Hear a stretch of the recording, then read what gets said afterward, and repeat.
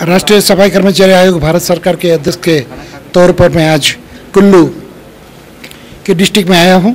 और ख़ास करके हमने आज हमारी जो मीटिंग, हमारे डीएम, एसपी, जो सीनियर लेवल अधिकारी के साथ सफ़ाई कर्मचारी की स्थिति के बारे में ये समीक्षा हुई है।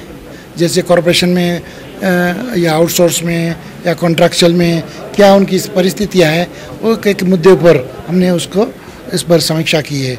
खास करके जो आउटसोर्स है, उनको जो लेबर एक्ट है, श्रम विभाग का, वो उनका पालन होता है कि नहीं? उनको सही तरह से मिनिमम वेजेस या A P F P P I या मेडिकल चेकअप या जो भी सुविधा है लीव की सुविधा दी जाती है कि नहीं?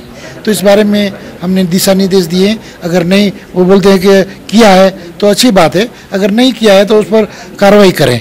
दूसरा उनकी रहन सहन में, उनके मकानों के बारे में भी बात हुई कि उनको जो प्रधानमंत्री आवास है, उनके अंतर्गत उनको भी वो लाभ मिलना चाहिए। तो भी का, उस पर भी वो कार्रवाई करेंगे।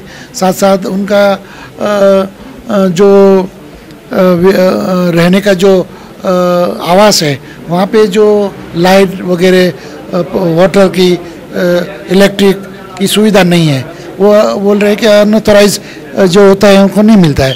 तो हमने बोला है कि थोड़ा उनका स्टेटस जानकर उनको भी सारी सुविधा देनी चाहिए।